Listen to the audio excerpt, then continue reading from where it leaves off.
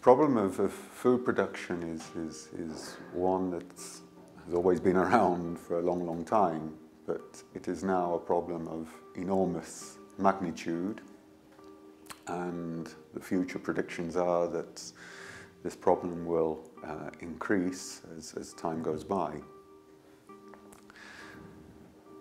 We currently are 7 billion, just over 7 billion people in the world and 1 billion out of the 7 billion suffer from starvation, malnutrition and lack of food.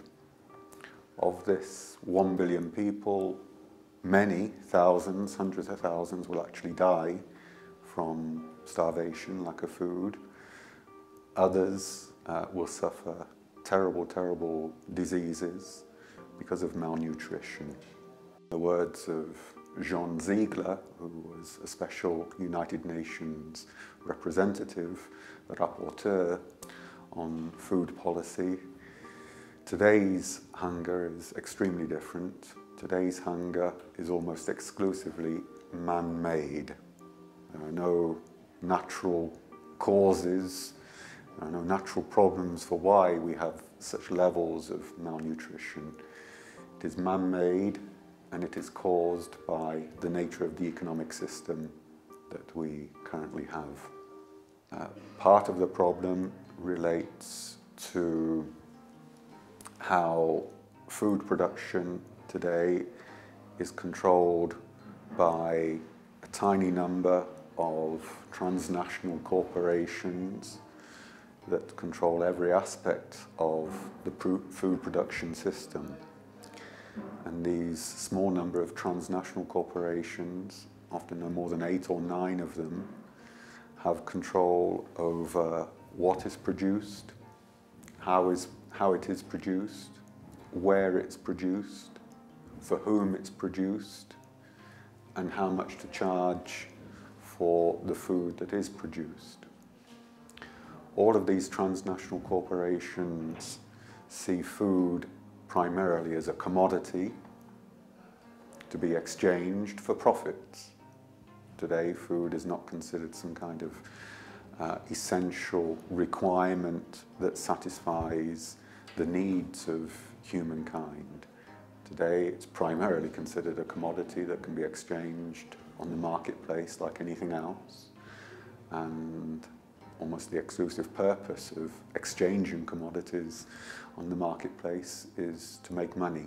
And these transnational corporations look to the food uh, distribution system and production system as a means of making money. And if money and making profit means that certain people suffer from malnutrition and starvation, they, they have no problem with that. That is not their concern. They say that is not our problem. In recent years, additional factors have started to play a role. A lot of the food that is produced in the world is now increasingly not being used for the purposes of uh, feeding human beings. This is particularly the case in some countries in Latin America. If you take a country like Paraguay, for example, uh, virtually 85, 90% of soya production in Paraguay, and all of this production of this commodity, soya, is now owned by transnational corporations. 85 to 90% of the soya production in Paraguay is used for animal feed production. Another problem here is that a great deal of food production these days is used for the making of biofuels, ethanol. In terms of maize, for example, um, more than 50% of the world's production of maize, which is such a crucial food product, more than 50% of maize today is used to make biofuels energy. Less than half of the world production of maize is actually used for human consumption. It's sustainable in, in, in, in one sense, in the sense that for as long as you have these transnational corporations controlling every aspect of the food production system, and for as long as they make profits from this, then they will see no reason why they should change this. If using food to make biofuel is a means of making huge profits, they are not going to change the system. You can use whatever moral arguments you want against how food is used by these companies, but no moral argument will persuade them that they should voluntarily relinquish the huge profits that they make from, from, from this. The food production system that, that, that, that dominates is one that is on a huge, vast corporate scale. It's highly mechanized, it's highly industrialized, it's highly chemicalized, um, and there is very little need for uh, human labor in this production system. In the last 10, 20 years, where this corporate system of food production has started to penetrate uh, in Asia, in Africa and Latin America, where we see the real effects on small-scale farmers and peasants in these countries. Basically, as the dominant European economic Canadian model of food production has penetrated into these developing countries, the first thing that's happened is that uh, the peasants that used to work the land have been forced off the land. Most of them have no other choice in order to survive than to move into urban areas and into the poor slum quarters that are developing in the urban areas.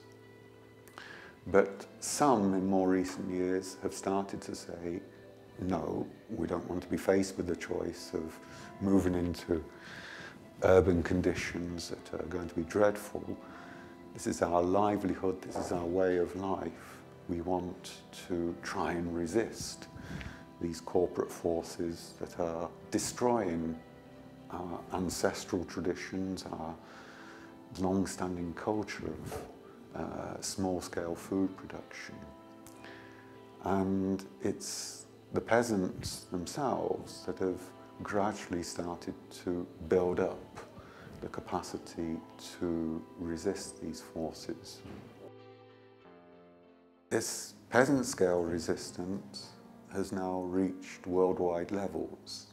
The key movement that tries to coordinate and organize peasant resistance to this corporate model of food production is known as Via Campesina. And the origins of Via Campesina go back to the early 1990s and was an attempt to realize that the only way you can struggle, fight this corporate model is to stand up and resist.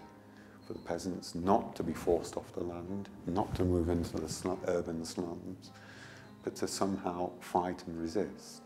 So Via Campesina was an attempt to try and build links between Asian peasants, African peasants, and peasants here in Latin America to say, well, on your own you can't do anything, but perhaps together, working together, trying to organize together, trying to act together, trying to learn from each other's experience of how we might possibly resist these forces maybe together we, we can do something.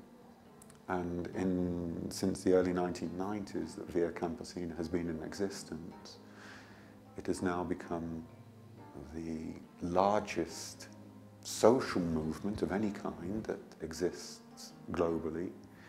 It exists, it has a base in more than 80 countries across the world and it's brought together something like 150, 160 different individual peasant organizations in different countries and has provided a, an organization a structure for these different movements to, uh, to work and to, to act. The rural and the urban worlds related in so many ways. And even if you are someone that has never lived in the countryside or experienced rural life, if your whole existence is based upon urban conditions, uh, this doesn't mean to say that you're not affected by uh, what is going on in the rural, rural world. I mean, the two are absolutely, absolutely connected. They're connected even more these days because, as I say, part of the problem of urban, the, the growth of urban poverty is the simple fact that urban poverty is growing because more and more peasants are being forced off the land and being forced into the poor urban neighbourhoods uh, on the outskirts, mainly on the outskirts of big cities, and that is increasing the urban levels of, of, of, of, of poverty.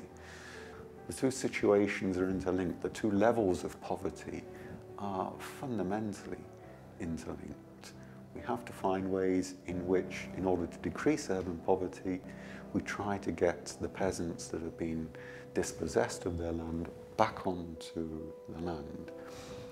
The only people at the moment that are having a major impact on trying to resist this dehumanization of life that is taking place, this commodification of absolutely everything that exists around us. The only forces at the moment that are strongly, desperately trying to resist these, these trends are the most marginalized, dispossessed forces, both in the rural areas and in the urban areas. For the first time in many years, what we see with these rural peasant movements prepared to take that enormous risk of waging a struggle to rebuild life in the rural areas what we see in the urban areas of extreme poverty, of people trying to build new kinds of community in these slum, slum areas, has to be a sign of hope. What they are doing is saying, you know, there are different ways of living. There are different ways of living with each other. There are different ways of interacting with each other. There are ways of living with each other, interacting with each other that transcend, that go beyond relationships of exchange and profit, and that genuinely seek to bring back a notion of human warmth, human community. These people are not waging a struggle to enrich themselves. These people are not waging a struggle to get out of poverty to become part of, of, of the rich.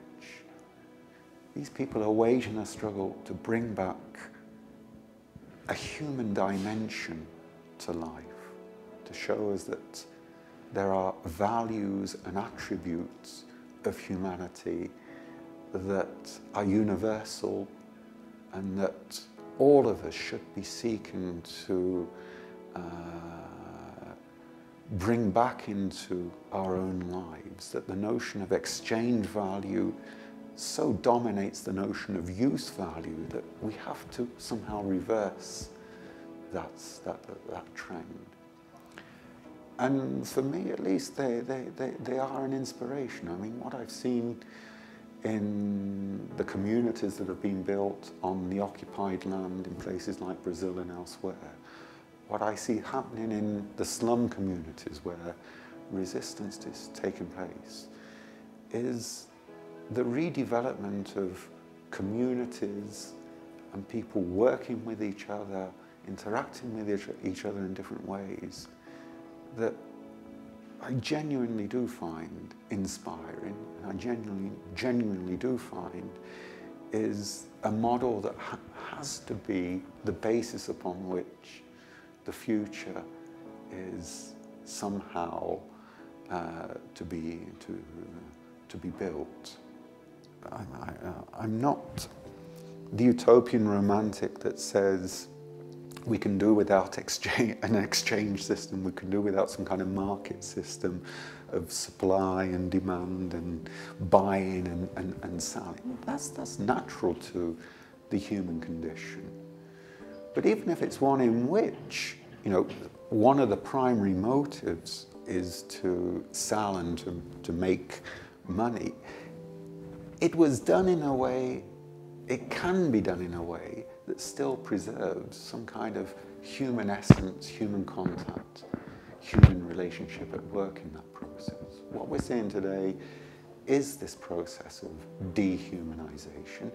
And as I say, I, I, I, have no qualms about calling this anthropological genocide. It's the genocide of everything that human existence and that the human potential has about it.